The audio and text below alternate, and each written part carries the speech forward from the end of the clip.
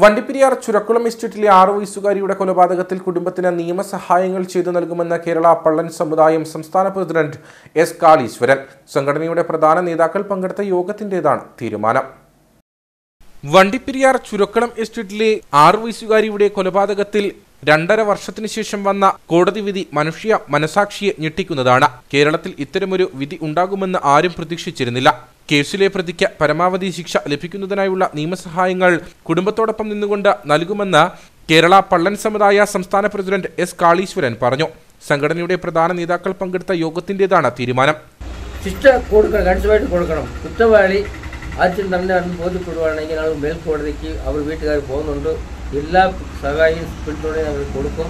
കൊടുത്തുകൊണ്ട് ഞങ്ങൾ തീരുമാനിച്ചിട്ടുണ്ട് ഈ മുഖ്യമന്ത്രിയുടെ കീഴിലാണ് ഇരിക്കുന്നത് പോലീസ് വകുപ്പ് അപ്പോൾ മുഖ്യമന്ത്രി ഇടപെട്ട് പോലീസിൽ വകുപ്പിൽ തീരുമാനിച്ചിട്ട് ഈ കേസ് സത്യസന്ധമായിട്ട് തീരുമാനം എടുക്കണം ശിക്ഷ കണിശമായിട്ട് കുറ്റം ചെയ്ത ആൾക്കാർക്ക് കിട്ടണം എന്നുള്ളത് ഒരു പരാതി കൊടുക്കാൻ പോകും മുഖ്യമായി മൂലമത്തിനും മുഖ്യമന്ത്രിക്കും ഇവിടെ ഇടുക്കിയിലെ കേരളത്തിലും എസ് പിക്കും കൂടെ ഒരു പരാതി കൊടുക്കാൻ തീരുമാനിച്ചിട്ടുണ്ട് അതേപോലെ ഞങ്ങളുടെ കെ പി കേരള പണി സമുദായത്തിലുള്ള കമ്മിറ്റി എല്ലാ യൂണിറ്റ് കമ്മിറ്റിയിലും കമ്മിറ്റി കൂടി ഇതൊക്കെ ഒരു ഘടന തെரியപ്പെട്ടാലും തീരുമാനിച്ചിട്ടുണ്ട്.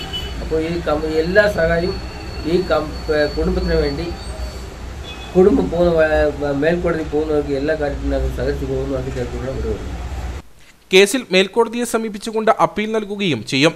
യോഗത്തിൽ ജില്ലാ സെക്രട്ടറി എം രാജേന്ദ്രൻ അധ്യക്ഷനായിരുന്നു. ജില്ലാ ഭാരവാഹികളായ ശിവകുമാർ എം മാടസ്വാമി എസ് മുത്തു പൊന്നാണ്ടവർ നാഗരാജ് തുടങ്ങിയവർ സംസാരിച്ചു. തുടർന്ന് സംഘടനാ അംഗങ്ങൾ കുട്ടിയുടെ വീട് സന്ദർശിച്ചു